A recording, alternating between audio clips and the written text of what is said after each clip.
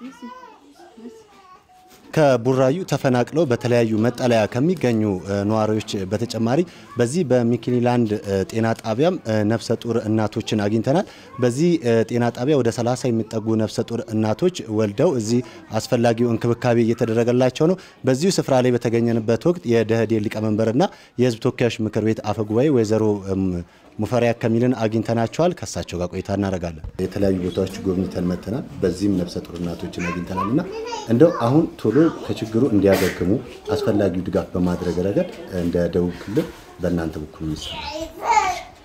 እንግዲህ አመሰግናለሁ። እኔም ያው እንዲህ አይነቱ አሳዛኝ አጋጣሚ ባይፈጠር ጥሩ ነበር። ከተፈጠረ በኋላ ግን ቶሎ ብሎ የዜጎችን ሁኔታ ማሻሻልና ወደ ተረጋጋ ህይወት መመለስ ነው የቅድሚያ ቅድሚያ የሚሰጠው ተግባር። ከዚህ አንጻር እዚህ እንዳያችሁት በርካታ እናቶችና ህጻናት አሉ። እነዚህ እናቶችና ህጻናት እንዲህ አይነቱን ሁኔታ የሚቋቋሙ አይደሉም፣ ተጋላጮች ናቸው።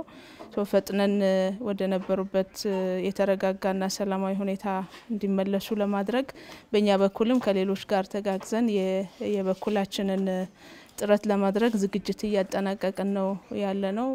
ወደ ቀያቸው እንዲመለሱ ለማድረግ የሚያስፈልገውን ሁሉ እናሟላለን ከሚመለከታቸው ጋር በጋራ ሆነን እስከዚያው ግን በጊዜያዊነት ባረፉባቸው ጣቢያዎች ላይም ከአዲስ አበባ ከተማ አስተዳደርም ከፌዴራል መንግስቱም ከኦሮሚያ ብሔራዊ ክልላዊ መንግስት ጋርም ሆነን በቅርበት ለመስራት ጥረት እያደረግን ያለ ነው።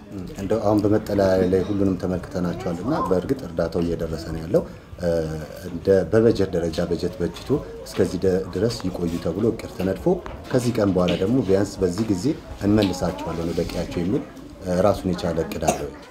እየተሰራ ነው ያለው።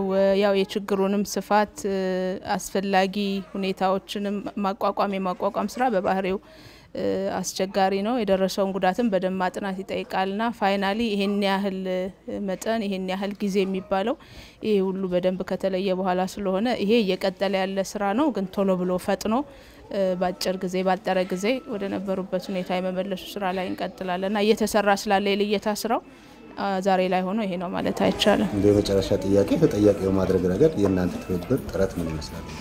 እየቀጠለን ያለው እንግዲህ ሰምታችኋል። በተለያዩ ሚዲያዎችም ተጠርጣሪ የሆኑ ግለሰቦች ከጉዳዩ ጋር ተያያዥነት አላቸው የተባሉ ግለሰቦች እየተያዙ ነው ያለው። ይሄው ተግባር ተጠናክሮ ነው የሚቀጥለው። እኛም የበኩላችንን እናደርጋለን።